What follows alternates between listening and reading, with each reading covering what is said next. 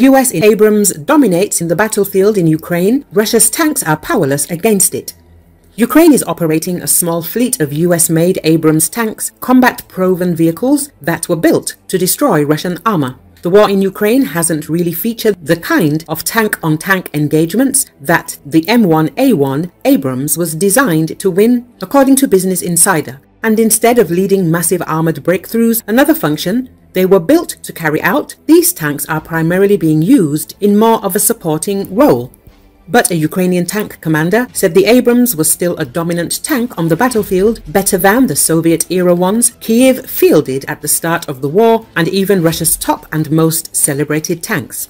It's better than T-72, T-62 and even T-90, the commander who goes by the call sign Zakon said through a translator during a recent interview with Business Insider from an undisclosed location near the front lines in eastern Ukraine. The US initially planned to send Ukraine the newer M1A2 variant, but decided to send the older M1A1 tanks that run $10 million a unit to speed up the delivery process. Kiev received all 31 Abrams in the fall, and they're now in service with the seasoned 47th Mechanized Brigade. Zakon commands one tank and oversees a crew that consists of a driver, a loader, and a gunner.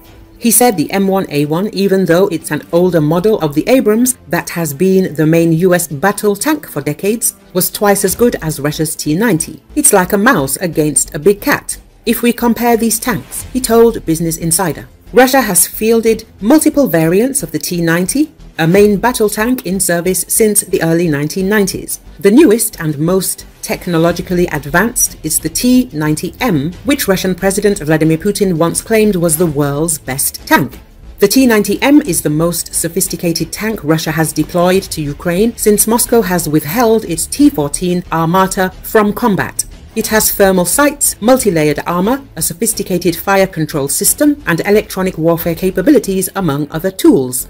The Abrams hasn't really had a chance to do much of what it was made for in Ukraine, though. Though capable, they're not invincible. According to the open source intelligence site Oryx, Russia has lost at least 100 T-90Ms and more than 50 other T-90 variants. They have fallen victim to Ukraine's small attack drones and armored vehicles. Another sophisticated Russian tank is the T-80BVM, which according to Oryx has suffered at least 150 losses. Overall, tank losses for the Russian army since the start of the war are estimated to be more than 3,000.